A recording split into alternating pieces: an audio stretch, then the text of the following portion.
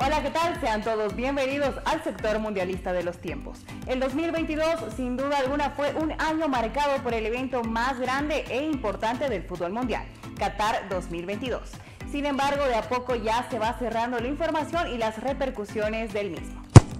Ahora corresponde hablar sobre un gran logro mundial para el deporte, pero más para el fútbol y futsal femenino la FIFA confirmó el primer Mundial de Futsal Femenino de la historia y el Mundial de Clubes Femenino. El presidente de esta entidad, Gianni Infantino, respondió hace dos semanas desde Qatar al reclamo intensificado mediático que realizaron las jugadoras de estos deportes a nivel mundial. Tras el anuncio de Infantino del nuevo formato del Mundial de Clubes Masculino, que ahora contará con 32 equipos, la FIFA oficializó que incorporará estas dos nuevas competiciones femeninas. Las deportistas de todo el mundo generaron una producción audiovisual, dando a conocer que a diferencia del fútbol sala masculino, las mujeres no contaban con un torneo a nivel mundial que las pusiera en jerarquía.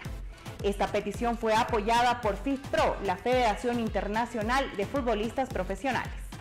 Nos sentimos discriminadas por la FIFA y la igualdad no puede ser una promesa, señalaron las jugadoras en los videos viralizados al cumplirse 33 años de la primera Copa del Mundo de Hombres. Esto llega tras una importante campaña encabezada por atletas destacadas de la disciplina a nivel mundial, quienes a través de las redes sociales lanzaron un pedido a la FIFA para dejar de ser invisibilizadas.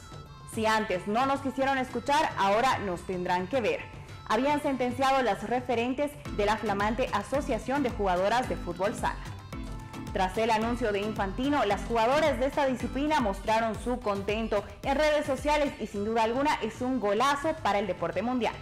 Con esta información nos despedimos del sector mundialista audiovisual de los tiempos, recordándoles que toda la información y repercusiones del Mundial de Qatar 2022, del Mundial América del Norte 2026 y del deporte en general se encuentra en nuestra página web lostiempos.com y en nuestras redes sociales.